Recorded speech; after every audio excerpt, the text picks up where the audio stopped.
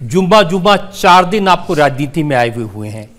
और आप उस आदमी को पकड़ रही हैं जो 40 साल से जिनके परिवार का हैदराबाद की सीट पर कब्जा है। उनको कोई हिला नहीं सकता है।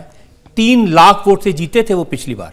हाँ साहब, अगर हमारे पास भी ऐसे बोगस वोट्स होते हैं तो हम तो चार हज़ार साल जीतते ही चले जाएँगे ना साहब, क्या करें?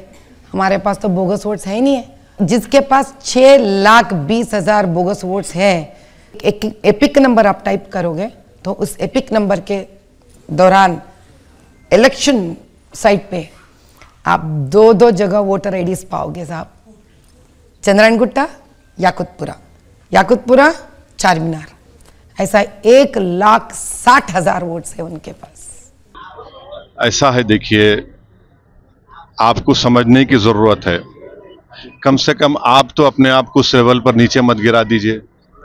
आप माशाल्लाह से एक जिम्मेदार सहाफ़ी है, जर्नलिस्ट है, आप पढ़े लिखे हैं। आप थम्सअप नहीं हैं। और आपको मालूम कि हर साल जनवरी में नामों का इंक्लूजन होता है।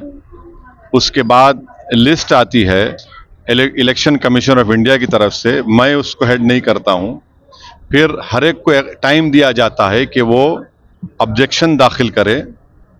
उस, उसकी टाइम ख़त्म हो जाने के बाद फाइनल वोटर लिस्ट आती है, फिर इलेक्शन से पहले एडिशनल एंड डिलीशन की लिस्ट आने वाली है। अब आप बताइए, इससे मेरा क्या रोल है? और आप इलेक्शन कमीशन ऑफ़ इंडिया को आप गाली दे रहे हैं, इसका मतलब?